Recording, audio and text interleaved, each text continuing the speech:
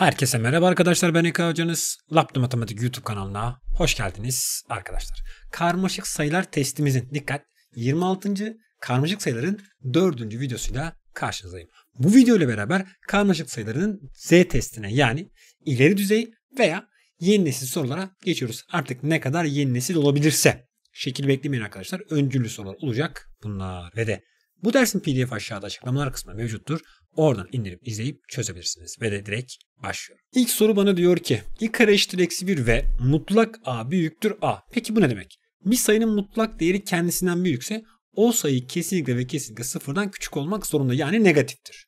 Ve de a çarpı b sıfırdan büyük. E a sayısı negatifse b sayısı da dikkat negatif olmak zorunda ki çarpımları sıfırdan büyük olsun. Olmak üzere kök içinde eksi a kare eksi kök b kare eksi kök eksi 1 eşittir.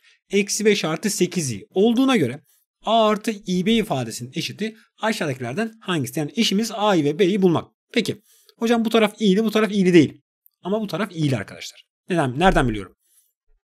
Bir kere a kare sayısı pozitiftir. Buradaki eksi i kare demektir. Ve bu dışarı i diye çıkar. Yani i çarpı kök a karedir. Eksi Aynı şey burada da geçerli. Bakın b sayısı negatif, b kare pozitif. Burası kök b kare. Devam ediyorum. Eksi geldim buraya. Bakın eksi 1, eksi 1 demek i demekti. i'yi de aynen buraya yazdım. Eşittir. Eksi 5 artı 8'e. Şimdi düzenlemeye devam ediyorum. Kök içinde bakın kareli bir ifade var. Bu ne anlama geliyor? i çarpı bu arkadaş dışarı mutlak a olarak çıkar anlamına geliyor. Eksi e bu da aynı şekilde dışarıya mutlak b olarak çıkar. Eksi i eşittir. Eksi 5 artı 8i. Devam edelim.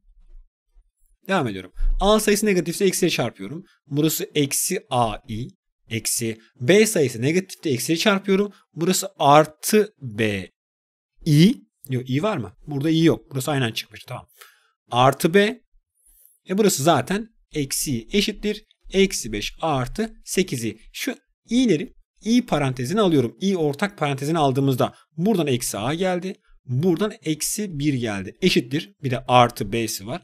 Eşittir. Eksi 5 artı 8'i. O zaman reel kısım reel kısmına yani b dediğim sayı eksi 5'e imajiner kısım eksi a eksi 1 eşittir. Buradaki imajiner kısmın katsayısı yani 8'e. Eksi 1 diğer tarafa attım. Eksi a eşittir 9.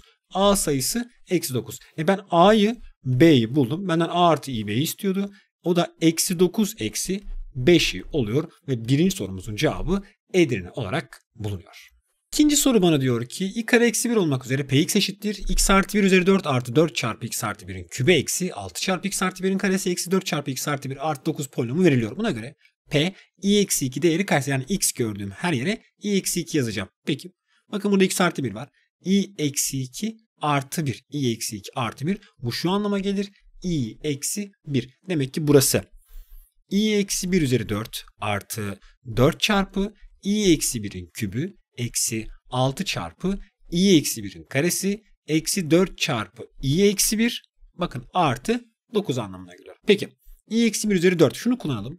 1 eksi i'nin karesi çarpı eşittir. 1 artı i'nin karesi e, o da eşittir eksi 2.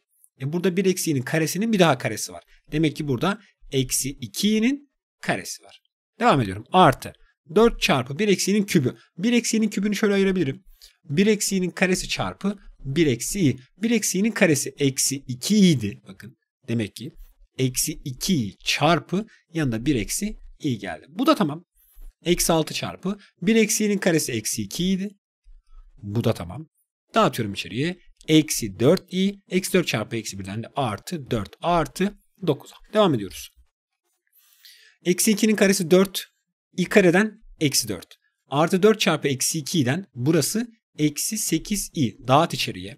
Eksi 8i çarpı 1'den eksi 8i. Eksi 8i çarpı eksi i'den. Bakın bir kere eksiler artı 8 i kare oldu. i kare eksi 1 geldi. Burası eksi 8 oldu. Eksi 6 çarpı eksi 2'den artı 12i. Burada eksi 4i artı 4 artı 9 var. Devam ediyorum.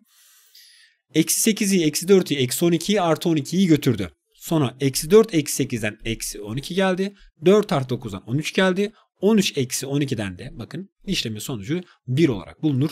İkinci sorumuzun cevabı Diyarbakır'dır. Üçüncü soru bana diyor ki A ve B birer gerçek sayı olmak üzere 1 bölü a eksi 1 bölü b artı 5i bölü b eşittir. i bölü a artı i bölü b artı 1 bölü 6 eşitliğine göre a değeri kaçtır diyor. Peki payda eşitleyelim önce. a, b, b, a, b, 6. Hepsini 6 a, b'ye getirebilirim. Yani burayı 6b ile burayı 6a, 6a, 6b, 6a ve burayı da ab ile genişlettiğimizde bakın zaten ikisinin de paydası aynı oldu. Paydaları eşittir diyelim. 6ab, 6ab. 6b çarpı 1'den 6b. 6a çarpı eksi 1'den eksi 6a. 6a çarpı 5i'den artı 30 i geldi. Diğer taraf 6b çarpı i'den 6bi. 6a çarpı i'den artı 6ai. ab çarpı artı 1'den de artı ab. Ve paydalarımız sadeleşti. Ve ben biliyorum ki sol tarafın reel kısmı sağ tarafın reel kısmına, sol tarafın imajiner kısmı sağ tarafın imajiner kısmına. Reel kısım 6b eksi 6a. Reel kısım ab. 6b eksi 6a eşittir ab. Bu bir. Sonra burayı i parantezine aldığımızda 6b artı 6a geldi. E, solun imajiner kısmı 3a'ydı. Burası 6b artı 6i. 3a eşittir 6b artı 6i.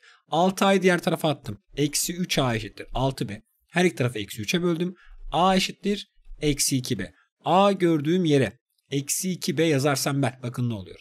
6b eksi 2 çarpı eksi 6'dan artı 12a eşittir. a gördüm eksi 2b yazdım. Burası eksi 2 b kare. Eksi 2 a gördüğüm yere eksi 2b yazdım. Bir dakika. Burası 12b eksi 2b kare. Güzel. Eksi 2b kare sol tarafa attım. 18b artı 2b kare eşittir 0. 2b parantezine aldım. Buradan 9 artı b eşittir 0. E a b 0 olamaz çünkü payda sıfırdan farklı. Demek ki 9 artı b 0 olacak. Buradan b sayısı eksi 9. Benden a sayısını istiyor. Neyi biliyordum ben? Ben kısaca a'nın eksi 2b olduğunu biliyorum. Ben b yerine eksi 9 yazarsam a sayısı 18 olur ve 3. sorumuzun cevabı da Ceyhan olarak bulunur. Dördüncü soru diyor ki a diyor bir tam sayı olmak üzere. z karmaşık sayısı eşittir. i üzeri a artı i üzeri a eksi 1. Yani bu 3 ise bu 2. Yani birer ardışık üstler. Çünkü tam sayı. Karmaşık sayısının kaç tane farklı değeri vardır. Çok güzel bir soru. Hemen şunu düşünüyorum ben. Karmaşık sayı değerleri. Bakın i üzeri 1, i üzeri 2, i üzeri 3 artı i üzeri 4. Ben ardışık olarak, ikili olarak hangi ihtimallerin gelebileceğini bulacağım. E bu i üzeri zaten birden i i kare eksi 1, i küp eksi i, i üzeri 4 de zaten 1'dir. Peki ardışık bu ikili gelebilir. Yani benim sonucum bakın i eksi 1 olabilir. Veya ardışık bu ikili gelebilir. Benim sonucum eksi 1 eksi i olabilir. Ardışık bu ikili gelebilir. Bakın buradan da sonucum eksi artı 1 olabilir. Şimdi 3 tane mi? Hayır. Düşünün. Bir de burada i üzeri 5 olsa yani i olsa artı i olsa bu ikili de gelebilir ardışık. Buradan da sonucum 1 artı i geldi. Yani 4 farklı sonucum vardır. Bu da dördüncü sorumuzu burs olarak buldurur. Beşinci soru diyor ki a diyor bir pozitif tam sayı olmak üzere. 1 eksi i bölü 1 artı i üzeri 4a artı 6 karmaşık sayısı veriliyor. Buna göre imajiner z'nin tersi çarpmaya göre tersi değeri kaçtır diyor. Bulalım. Önce ben şunu yapıyorum. 4a artı 6'yı 2 parantezinde 2a artı 3 yazıyorum. Yani kısaca şunu yapıyorum. 1 eksi i bölü 1 artı i'nin karesinin 2a artı 3. kuvveti. Neden böyle bir şey yaptım? Çünkü 1 eksi i'nin karesi eksi 2 i'dir. 1 artı i'nin karesi 2 i'dir. E bunun 2a artı 3. kuvveti var burada. Bu da tamam. E, ikiler gitti. i'ler gitti. İçeride sadece eksi 1 kaldı. Eksi 1 üzeri 2a artı 3. a sayısı bir tam sayı. Yazdığımızda 2a çifttir. 2a artı 3 tektir. Ve negatif bir sayının bakın tek kuvveti, negatifin tek kuvveti tabii ki de negatiftir. Demek ki benim z karmaşık sayım eksi birmiş. E imajiner kısmını istiyor. Bakın arkadaşlar. Eksi bir sayısının imajiner kısmı yoktur. Yani buradan 5. sorumuzun cevabı z'nin tersini alsanız da çarpmaya göre yine buradan eksi 1 bölü 1 gelir. Yani eksi 1 gelir. İmajiner kısım sıfırdır. 5. sorumuzun cevabı Bursa'dır. 6. soru bana diyor ki a, b, c gerçek sayı olmak üzere. ax kare artı bx artı c eşittir 0 denklemi için aşağıdaki bilgiler verilmiştir. Nedir bu bilgiler? A artı B artı C yani kat sayılar toplamı 0 ve A küple C üzeri 5'in çarpımı sıfırdan küçük. Buna göre 3 tane öncülümüz var. Yargılarından hangileri kesinlikle doğrudur diyor. Bakalım. Peki buradan ben ne anlayabiliyorum? A artı B artı C katsayılar toplamı sıfırsa demek ki bunun birinci kökü 1'miş. Çünkü ilk sene ben 1 yazdığımda A artı B artı C eşittir 0 anlamına gelir. Yani kökü yerine yazdığımda 0'a eşit. Eşit mi? Eşit. Birinci öncül tamam. Tek üssü, üssü tek. İki tane üssü tek yani şey gibi düşünebilirsiniz. A çarpı C gibi düşünebiliriz. Çarpımları negatifse ya eksi artıdır ya da A artı eksidir. Bu da tamam. Peki x1 köküm bu olsun. x2 kökümü bilmiyorum ve yorum yapabilirim. Nereden yorum yapabilirim? Şuradan yapabilirim. A çarpı C. C ve A sayısı kökler çarpımını veriyor. Yani x1 çarpı x2 C bölü A'dır. E, bunların çarpımları negatifse bölümleri de negatif yani sıfırdan küçüktür. Bu bir.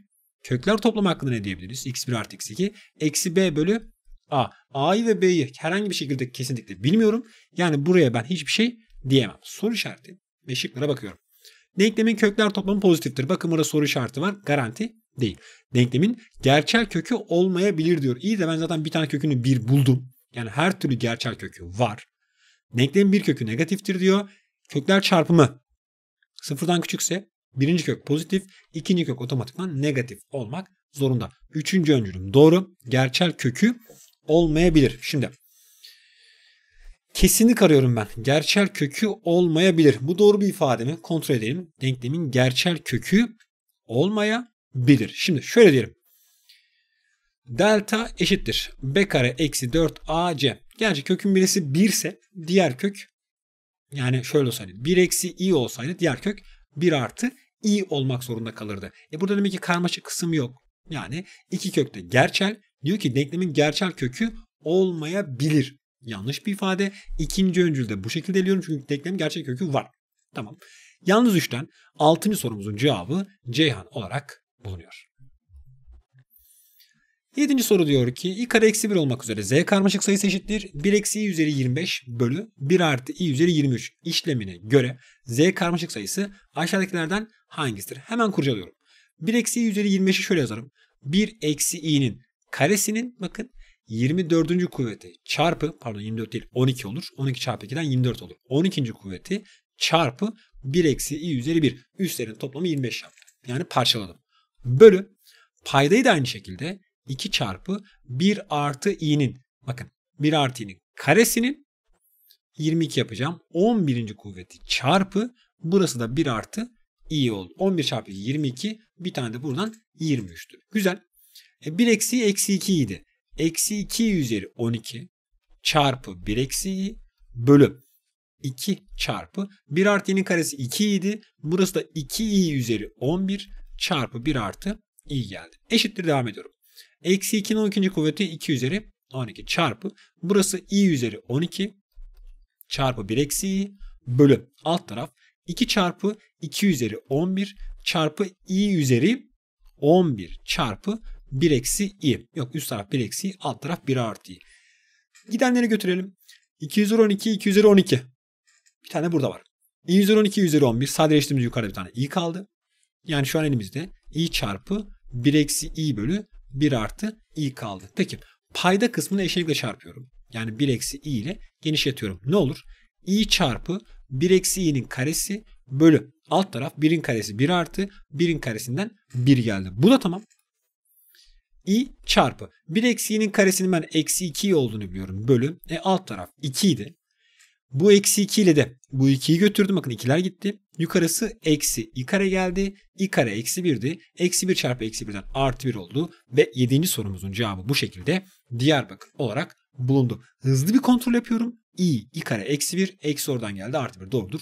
7. sorumuzun cevabı Diyarbakır'dır. 8. soru bana diyor ki ZHJ karmaşık sayı olmak üzere h artı j gerçel sayıdır h eksi z gerçel sayıdır. j kare eksi z kare gerçel sayıdır. İmajiner z sıfırdan farklı. İmajiner h ve imajiner j sıfırdan farklıdır diyor. Yukarıdaki verilen bilgilere göre 3 tane öncülümüz var. İfadelerin hangileri kesinlikle doğrudur. Önce şurayı yorumlayalım. H sayısını biliyorum ama karmaşık sayı olduğu için A artı İB olmak zorunda ve B sayısı sıfırdan farklıymış. Bakın öyle söylüyor. Bu bir. H artı J gerçel sayıysa B sıfırdan farklıysa demek ki benim J sayım A eksi A demeyelim çünkü bu tarafını bilmiyorum. Yani reel kısmını bilmiyorum. C eksi İB'dir. Çünkü topladığımda İB'ler gider. A artı C reel sayısı gelir. Bu doğru. Yani bu bu bilgiden bu çıktı. h eksi z gerçel sayıdır diyor. z sayısına bakıyorum. h eksi z. E, bunun gerçel olması için İB'lerin aynı olması lazım. Yani D artı İB'dir. Çıkarttığımızda sonuç A eksi D gelir. Bu da tamam. J kare eksi Z kare gerçel sayı. Bu ne demek? J eksi Z çarpı J artı Z demek. Bu bir gerçel sayıymış. Bakalım. J artı Z dediğim sayı toplamında eksi İB artı İB gidiyor. Burada C artı D reel sayısı geliyor. Ama diğer taraf bakın J eksi Z geliyor. Tekrar diyorum. J eksi Z. J eksi Z ne demek? J eksi Z de bakın C eksi de eksi İB eksi İB eksi 2 İB geldi. Yani burasının reel kısım olmadığı için, imajiner kısım olduğu için çarpımları imajiner olmak zorunda. Ama eğer benim C artı D sayım sıfıra eşitse yani kısaca C artı Z sayım sıfıra eşitse sorun çözülüyor. C artı D sayısının sıfıra eşit olması demek C eşittir eksi D veya J artı Z sayısının sıfıra eşit olması demek J eşittir eksi Z. Yani Z sayısı bakın J sayısı Z'nin eksilisi. Buradan da şu sonuç çıkar. Tekrar ediyorum J sayısı Z'nin eksilisi. Demek ki burası eksi C artı İB'ymiş. Bu da tamam.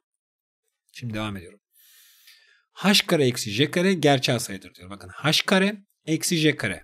Bakalım burası H eksi J H eksi J çarpı H artı J'dir. H artı J. Burası A artı C. Kesinlik istediği için burası R. Tamam. Sıfır olma ihtimali var ama kesin değil. H eksi J'den H eksi J'den ne geliyor? 2B. Yani burası karmaşık. Burası karmaşık sayı. C diyelim. Şimdi bunların çarpımı gerçel sayı mıdır? Hayır. Şimdi A artı C sıfır olabilir. Fakat kesin değil arkadaşlar. Biz kesinlik arıyoruz. Gitti. H artı Z gerçel sayıdır diyor. H ile Z'yi topladığımızda 2 b geliyor. Yani karmaşık kısım var. Değildir. J eşittir eksi Z. E bunu bulmuştum. Üçüncü öncülüm kesin doğru. Yalnız üçten. Sekizinci sorumuz Ceyhan'dır diyoruz. Dokuzuncu soru diyor ki z kare artı 4 bölü z eksi 2 artı z kare artı 25 bölü z artı 5'i eşittir. 4 artı 7'yi eşitliğini sağlayan z karmaşık sayısı aşağıdakilerden hangisidir? Bakın şunu nasıl yazacağım. Bu ifade z kare artı 2'nin karesi dersem ben bunu şöyle yazabilirim. Dikkat. z artı 2i çarpı z eksi 2. Çünkü bu ne anlama gelir? Bu birincinin karesi z kare artı ikincinin karesi 4 anlamına gelir. Bu güzel. Peki yazalım. z kare artı 4 sayısını ben z artı 2i çarpı z eksi 2 yazıyorum ve bunun paydası da z eksi 2'ymiş. Artı z kare artı 25 sayısını z artı 5 çarpı hatta z artı 5i olacak. Yukarıda yaptığımız mantıkla. z artı 5i çarpı z eksi 5i dersem bunun paydası da z artı 5i olacak. Eşittir 4 artı 7'ymiş. E soru bitti. z eksi 2'ler z artı 5'ler sadeleştiğinde burada geriye z artı 2'yi burada geriye artı z eksi 5'i eşittir diğer taraf 4 artı 7'dir. E, z dediğim sayı a artı ib'dir. Artı 2 artı z dediğim sayı a artı ib'dir. Eksi 5'i eşittir 4 artı 7. Şimdi bakın reel kısımlar a var. Başka a var. Başka da bir şey yok. Yani a artı a'dan 2a dediğim sayı reel kısım olan 4'e demek ki a sayısı 2'ye eşit. Bu bir imajinallere bakıyorum. Burayı i parantezine alırsam b artı 2 artı b yani 2b artı 2 eşittir. Diğer taraftaki imajiner kısım 7'yi. E, bu da 2b artı 2 kontrol edeyim. b oradan b oradan 2b artı 2. Doğru değil mi? 4 artı 7'yi. Tamam. 2b artı 2 eşittir 7'ye. Buradan 2b eşittir 5'e. b dediğim sayı 5 bölü 2'dir. Şimdi buraya kadar sıkıntı yok. Bakıyorum. Oradan o geldi. Oradan o geldi. Güzel. İB, İB artı 2, 5'i. Tamam şuraya yapmamışız. Şimdi oldu. Hatayı bulduk arkadaşlar. Şurada. Artı 2 bir de burada eksi 5 var. B eksi 2 artı B artı 2. 2'deki artı 2 eksi 5. Bir de burada artı B eşittir 7'yi dersem burada B'yi doğru bulmuş olurum. Duraksadık sıkıntı yok. Sol taraf B artı B'den 2B eksi 3 eşittir 10'a. 2B eşittir 2B eksi 3 eşittir 7'ye. 2B 10'a. B sayısı 5'e. A'sı B'si belli. Demek ki benim Z sayım 2 artı 5 i olarak bulunuyor. Ve 9. sorumuzun cevabı da bu şekilde Diyarbakır'dır arkadaşlar. 10. soru diyor ki i kare eksi 1 olmak üzere 1 bölü 1 üzeri 4 artı 1 bölü 1 üzeri 5 artı 1 bölü 1 üzeri 6 artı 1 bölü 1 üzeri 7 artı bla bla bla artı 1 bölü i üzeri 98. Yani 4'e bölünebilen bir sayıdan başlayıp 4'ün 2 fazlası olan bir sayıya kadar, yani 4'ün katından 2 fazlası olan bir sayıya kadar gitmiş. İşleminin sonucu kaçtır diyor. Peki i üzeri 4 dediğim ifade zaten 1. Yani burası 1 bölü 1 artı 1 bölü i üzeri 5. i üzeri 5 dediğim ifade i'ye eşittir. Eğer ben burayı eksi i ile genişletirsem bakın ne oluyor. Eksi i bölü i çarpı i'den i kare i kare eksi 1 eksi i bölü eksi 1'den de buradan da artı i gelmiş oluyor. Yani bu ifade 1 bu ifade i'dir. E 1 bölü i üzeri 6 i üzeri 4 çarpı i kare dersem burası 1 i kare eksi 1 bakın doğru değil mi? Eksi i özür diliyorum. Burası 1 i kare eksi 1 tam doğru i kare eksi 1. Yani burası eksi 1 ile çarptığımızda yukarısı eksi 1 olur. Sırayla eksi 1. Devam ediyorum. 1 bölü i üzeri 7. E, i üzeri 7 dediğim sayı. i üzeri 4 çarpı i küptür. Burası 1. Burası eksi i. Bakın eksi i. Evet. Yani 1 bölü i üzeri 7 dediğim sayı eşittir 1 bölü eksi i. Ben burayı eksi i ile genişletirsem eksi i bölü i kare yapar. i kare eksi 1'dir. Buradan da i gelir. Yani ardışık olduğunda ardışık dörtlü tamamlandığında en son artı i oluyor. O zaman burası eksi i olmak zorunda. Şuraya tekrar bakıyorum. 1 bölü i üzeri 5. 1 bölü i eşit. i ile genişlettim. Burası i bölü i kare. Evet burası eksi i oluyor. Özür diliyorum. E, bu dörtlü tamamlandığında bu toplamın sonucu nedir arkadaşlar? Sıfırdır. Demek ki her dörtlü sıfır olacak. Nereye kadar? Bakın burada i üzeri 96, i üzeri 97, i üzeri 98 var. Demek ki bu i üzeri 96'ya kadar olan tüm dörtlülerin toplamı sıfırdır. En son geriye 1 bölü i üzeri 96, 1 bölü i üzeri 97 artı 1 bölü i üzeri 98 kalır. E 96'dan 1 gelecek. Artı 97'den eksi i gelecek. Artı 98'den de eksi 1 gelecek. Artı 1 eksi 1 götürüp geriye eksi i kalacak. Bu da 10. sorumuzu bize Ceyhan olarak bulduruyor. 11. soru bana diyor ki i kare eksi 1 ve z küçük 0 küçük y küçük x olmak üzere kök y eksi x artı z eksi 5 artı kök x eksi eşittir 4 artı 5 eşitliğini sağlayan z değeri kaçtır. Şimdi bakın x, y, z sayısı var. Burada x eksi y var. Yani büyük sayıdan küçük sayı çıkarttığımızda sonuç her zaman pozitiftir. Demek ki bu arkadaş dışarı direkt reel olarak çıkacak. Şimdi diğer taraf imajiner çıkacak biliyorum. E, diğer tarafın yani eşitliğin karşı tarafın reel değeri neydi? 4. Demek ki kök x eksi y sayısı 4'e her iki tarafın karesini aldım. x eksi y eşittir 16'ya. Bu 1 cebe attık. Sonra geliyorum buraya. Ne var? y eksi x. y'den x'i çıkarttığımızda küçükten büyüğü çıkarttığımızda negatiftir. Burası negatif. z dediğim sayı zaten negatif. Eksi 5 negatif. Demek ki totalde kökün içi negatif. O zaman ben kökün içini eksi parantezine alırsam bakın burada eksi y artı x eksi z artı 5 kaldı ve kök içine burası. E ben biliyorum ki bu eksi kökün içinden dışarıya i olarak çıkar. i kök düzenliyorum. x eksi y eksi z artı 5 eşittir. Diğer tarafın imajiner kısmı 5'i. O zaman hocam i'nin katsayısı 5'e eşittir. Yapalım. x eksi y eksi z artı 5 eşittir. Tabii karesini alıyorum. i'ler gitti. Direkt katsayı 5'e eşit. Her iki tarafın karesini aldığımızda 5'in karesi 25. 5'i bu tarafa attım. x eksi y gördüğüm yere 16 yazdım. 16 eksi z artı 5 eşittir 25. 16'dan 16 artı 5 21. Diğer tarafa attım 25 eksi 21 4. Eksi z 4 ise z dediğim sayı eksi 4 olur. Bu da 11. soruyu burs olarak buldur. 12. ve de bu testin son sorusu diyor ki i sanal sayı birimi a ve b sıfırdan farklı gerçel sayılar olmak üzere z karmaşık sayısı c eksi a'yı w karmaşık sayısı d artı b'yi karmaşık sayıları için aşağıdaki bilgiler verilmiştir. Bakın z çarpı w çarpımı bir gerçel sayıdır diyor. z çarpı w. Bir de z eksi w farkı bir gerçel sayıdır. Önce buna bakalım. z eksi w. z eksi w yani c eksi ai eksi d eksi bi. Bu elemanıdır reel sayı ise bu ne anlama gelir? Bu şu anlama gelir arkadaşlar. Bakın dikkat. Eksi a ile eksi b çünkü sanal sayı a ve b sıfırdan farklı. a ve b sıfırdan farklıysa bu ikisinin toplamının sıfır olabilmesi için eğer birisi A ise bakın toplam değil mi? Fark. Eğer biri eksi A ise diğeri de eksi A olmak zorunda ki çıkarttığımızda bakın çıkarttığımızda sonucumuz yani farkımız bir gerçel sayı olsun. Düşünün ben B gördüğüm yere eksi A yazsam ne olur burası? Artı AI oluyor. Bunlar gidiyor. C eksi de reel sayısı kalıyor. Bu bir. Demek ki W dediğim sayı şu anda D eksi A i'dir. Bu tamam. Devam ediyorum. Z çarpı V çarpımı bir gerçel sayıdır diyor. İkisinin çarpımı bir gerçel sayı. Bakalım C eksi A ile benden D aynı bunlar değil mi? D eksi A i'nin bir gerçel sayı olabilmesi için hangi şartlarımız var? Bakalım. C çarpı D. Sıkıntı yok değil mi? Yok tamam Z eksi W. Güzel. Güzel tamam.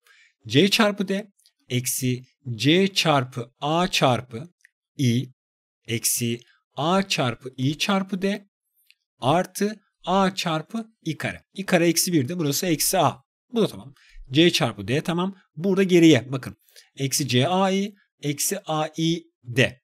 Yani I parantezinde burası C A eksi A D. Hatta I A parantezine alalım.